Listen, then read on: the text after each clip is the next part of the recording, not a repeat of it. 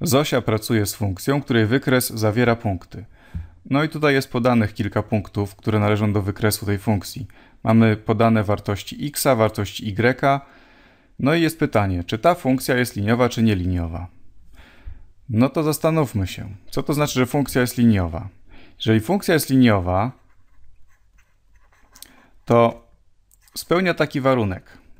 Czyli jeżeli funkcja jest liniowa, to wtedy spełnia ona taki warunek, że jak wezmę zmianę x i zmianę y i podzielę je przez siebie. Podzielę zmianę y przez zmianę x, czy też przyrost.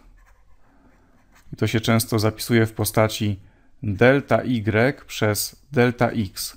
Czyli jeżeli wezmę dwa dowolne punkty i policzę dla tych punktów delta y i delta x, zmianę y, zmianę x, to powinienem dostać zawsze tę samą liczbę. To powinno być równe stałej.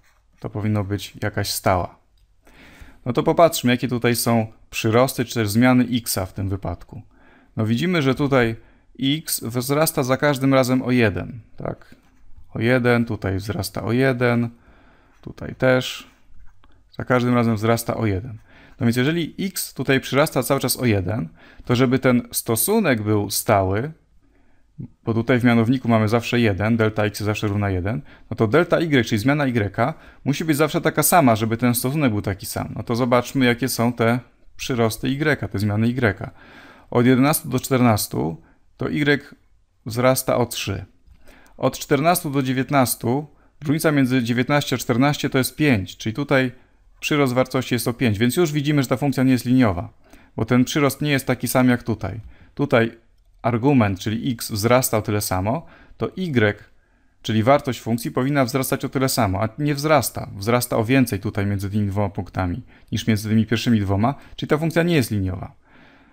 Już to wystarczy, no ale popatrzmy dalej. Tutaj widzimy od 19 do 26 to wzrasta o 7, tutaj wzrasta od 26 do 35 o 9, czyli widzimy, że te przyrosty są coraz większe, a powinny być stałe, jeżeli te są stałe, żeby funkcja była liniowa.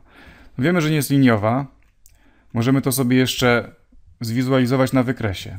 Narysuję teraz wykres i zobaczymy, że rzeczywiście te punkty nie będą się układały na linii prostej. Tak jakby to było dla funkcji liniowej, czyli powiedzmy, że tak, że tutaj będzie nasza oś y, tutaj będziemy mieli oś x.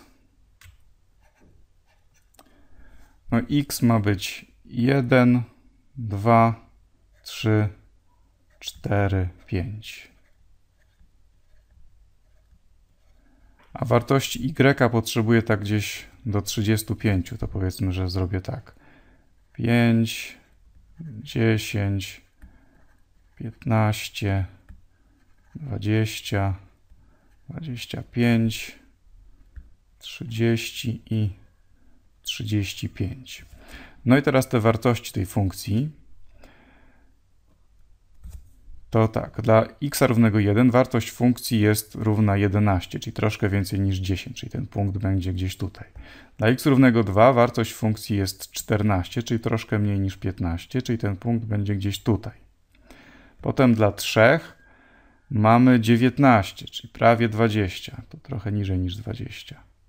Potem dla 4 mamy 26, czyli więcej niż 25, czyli gdzieś tutaj. No i dla 5 mamy 35, czyli lądujemy gdzieś tutaj dla 5. To widzimy, że te punkty nie układają się na jednej prostej. Gdybym tutaj przez te pierwsze dwa punkty prostą poprowadził, no to ona by wyglądała jakoś tak. No i widzimy, że tutaj łącząc prostymi kolejne punkty, ta prosta, którą byśmy otrzymali, będzie coraz bardziej stroma. Widzimy, że te punkty nie leżą na jednej prostej, czyli tak czy inaczej ta funkcja nie jest liniowa. Bo gdyby ta funkcja była liniowa, to te punkty powinny układać się na jednej prostej, tak jak jest dla funkcji liniowej. Ponieważ się nie układają, no to funkcja nie jest liniowa.